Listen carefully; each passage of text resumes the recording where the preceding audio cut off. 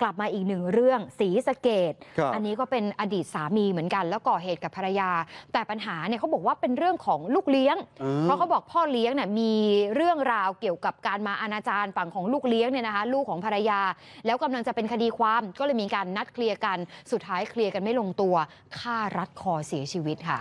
ทางฝั่งของผู้ตายเนี่ยทำงานอยู่ที่โรงพยาบาลนะคะชื่อว่าคุณโฉมฉายอายุ 39 ปี คุณผู้ชมแล้วดูบรรยากาศตอนที่คุณแม่ของคุณโฉมฉายได้รับแจ้งจากเจ้าหน้าที่ตำรวจค่ะว่าลูกสาวถูกฆ่าแม่เดี๋ยวไปที่หลังครับไปโรงพยาบาลเด็กอยู่โรงพยาบไปโรงพยาบาลที่เคยมีคดีนั่นแหละยังเรียนอยู่ที่เคยมีคดี ให้ไปน้ำแนว นี่ฮะคุณ ผู้ชมนี่คือคุณแม่ของคุณโฉมฉายคนเสียชีวิตนะฮะเหตุการณ์เนี่ยเกิดขึ้นที่กระท่อมกลางทุ่งนา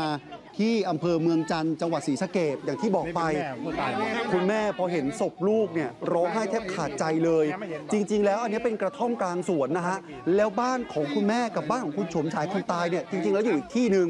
คุณแม่บอกว่าตอนแรกเนี่ยเอกใจฮะเอกใจว่าจริง ๆ แล้วคุณโฉมฉายเนี่ยทำงานอยู่ที่โรงพยาบาลเมืองจันทร์ในจังหวัดศรีสะเกดหลังจากนั้นเนี่ยเขาบอกว่าพอออกเวรมาตอนเช้า แต่ไม่ยอมกลับบ้าน เพราะว่ามีการไปนัดหมายคุยกับอดีตสามี แล้วสุดท้ายคุณผู้ชมเหมือนเคลียร์ปัญหากันไม่ลงตัว อดีตสามีเลยใช้ไม้ท่อนเมื่อกี้นี้ฮะคุณผู้ชมที่เจ้าหน้าที่ตำรวจเนี่ยเก็บเอาไว้เป็นหลักฐาน ทุบหัวคุณโฉมฉาย แล้วก็เอาสายกระเป๋าเนี่ยมารัดคอ จนคุณโฉมฉายเนี่ยเสียชีวิต ล่าสุดเรามีโอกาสไปพูดคุยกับทางด้านของคุณบุญมีนะฮะซึ่งเป็นอาของคุณโฉมฉายคนตาย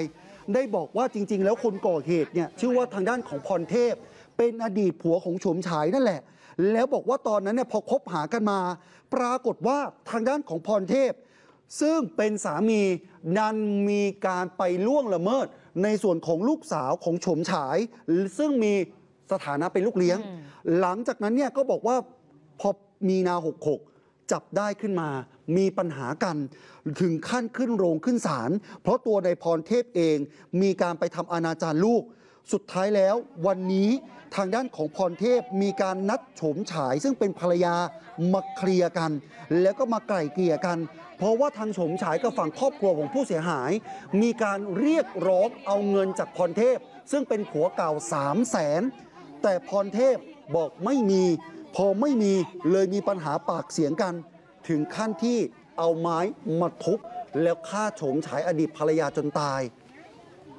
นี่เป็นแม่ของผู้ตายรักใคร่กันดีก็แต่ว่ามันมีปัญหาครอบครัวก่อนหน้านั้นอยู่แล้วอะค่ะ แต่ที่หนักมากก็คือตอนขึ้นโรงขึ้นศาลเพราะว่าเขาชำเราลูกเลี้ยง มีคดียังไม่เคลียร์กัน แล้วว่าจะทั้งจำทั้งปรับอะไรอย่างนี้แล้วแล้วผู้หญิงก็ต้องการแบบว่าให้เคลียร์เงินก่อนอะไรเงี้ยแล้วค่อยไปขึ้นโรงขึ้นศาลอีกอะไรอย่างเงี้ยว่าไปไหนมาไหนให้ระวังตัวเขาะก็ ก็ดูเหมือนแบบว่าไม่มีอะไรเกิดขึ้นนะเขาบอกเขาคงไม่กล้าทำอ่าผู้ตายนี่ก็พกอาวุธอยู่ แต่สงสัยอยู่ว่าไม่รู้มันทำที่ข้างข้างบนหรือมันมันมันมันตีเสร็จแล้วมันเอาขึ้นไปทำผ้าห่มไว้อย่างนี้หรือเปล่าก็ไม่รู้อะค่ะ คุณผู้ชมคะและหลังจากที่พรเทพก่อเหตุเสร็จหนีไป แต่เห็นบอกว่าไปโพสต์ Facebook นะคะบอกไม่อยากให้มันจบแบบนี้เลย ชีวิตมันไม่ใช่ความจริง ผมรับไม่ได้หรอกเสียใจ และผมอายุขนาดนี้อย่าอยู่เลย พอกันทีโลกใบนี้ รักทุกคนช้าเร็วก็ปวดร้าว ปิดคดีจบจบเสียที ถูกผิดไม่มีใครฟังรักเหมือนลูกในไส้เอาอะไรมาตัดสิน ข้อความที่นายพรเทพโพสต์ค่ะ หลังจากที่ฆ่าเมียเสร็จสับปุ๊บ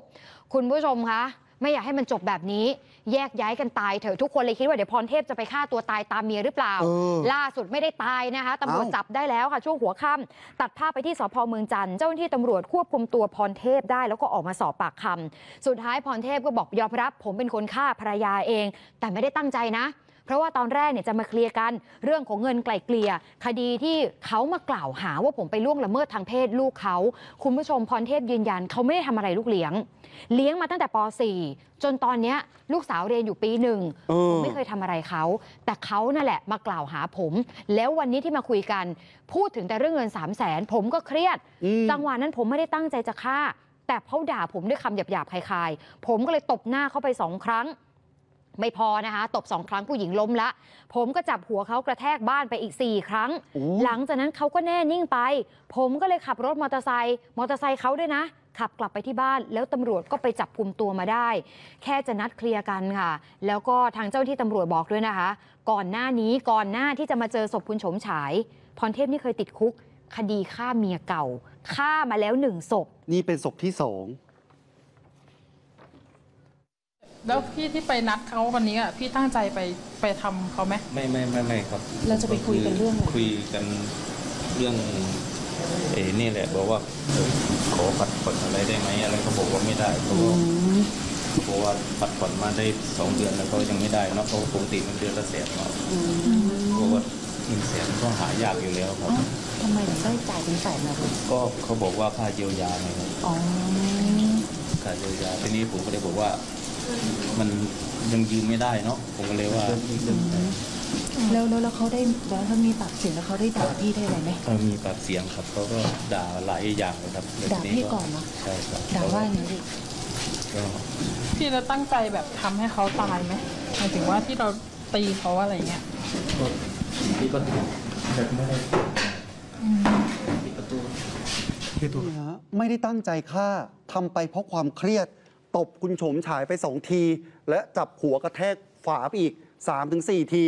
วันพรุ่งนี้เห็นบอกจะปะตำรวจจะพาเนี่ยทางด้านของพรเทพเนี่ยไปตรงจุดเนี้ยนะฮะ ไปทำแผนประกอบคำรับสารภาพค่ะ ในวันพรุ่งนี้ อืมอะ แต่เขาอ้างนะคะเขาบอกเมียเนี่ยใส่ร้าย จะเอาเงิน 3 0 0แสนเดี๋ยวต้องพิสูจน์กัน เพราะว่าจริง ๆ แล้ว คนที่เสียหายก็คือฝั่งของลูกเลี้ยง